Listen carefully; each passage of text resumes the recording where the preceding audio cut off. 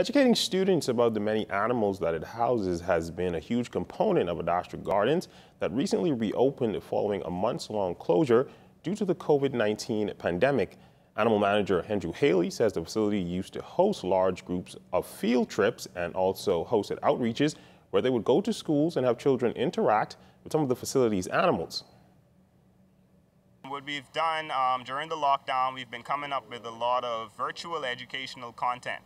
So we're basically working on different topics, and each topic we're gonna have a nice video shot where it's all things Ardastra. We use the animals here and we cover just basic topics depending on what the classrooms may need. So, for example, classification or learning about the national symbols of the Bahamas. Um, so we want to get those out. Um, teachers will be able to subscribe and get access to these videos. So instead of them coming to us, we're coming to them virtually.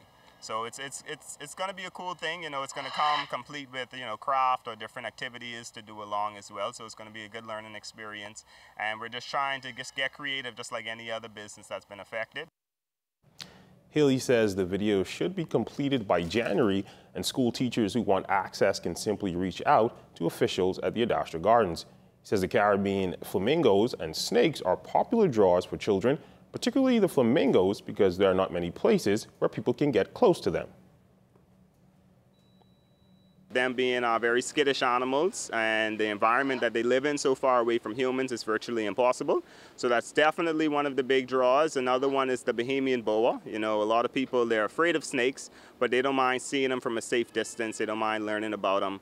Um, so yeah, definitely the snakes. I would say the Caribbean flamingos um, and just all of the various birds, the parrots, the beautiful colors. Uh, the kids love to hear them talk. You know, we have a lot of uh, macaws, um, you know, they heard their name just now.